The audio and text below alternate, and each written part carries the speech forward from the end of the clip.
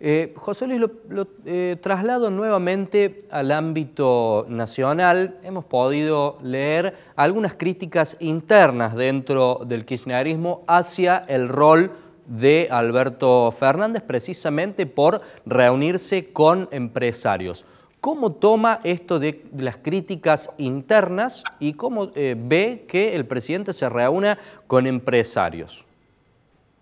A ver, mire, me parece que eh, el presidente es el que conduce y hay que respetar las decisiones que toma.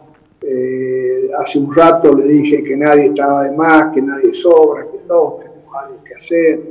Sabemos perfectamente qué representa el presidente de la sociedad rural o qué representa algunos otros sectores que estaban allí, pero, pero a ver, los necesitamos a todos, ¿no? Eh, a mí me parece que de aquí en más hay que ver cuáles son las actitudes que se toman. Yo eh, confío muchísimo en, la capacidad de, conducir de Alberto, también de Cristina. Le diría que no hay divisiones, que, a veces eh, que, hay un sector importante de la prensa argentina que usted lo debe conocer muy bien, que lamentablemente juega el rol de opositor y bueno, vivimos en democracia, hay que aceptarlo.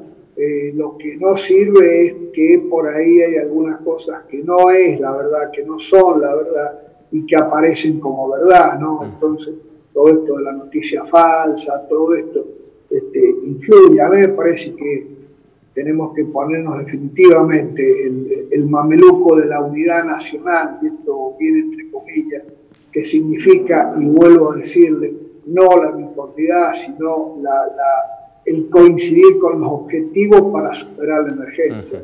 Usted ha señalado... y aquí no podemos hacer discriminaciones.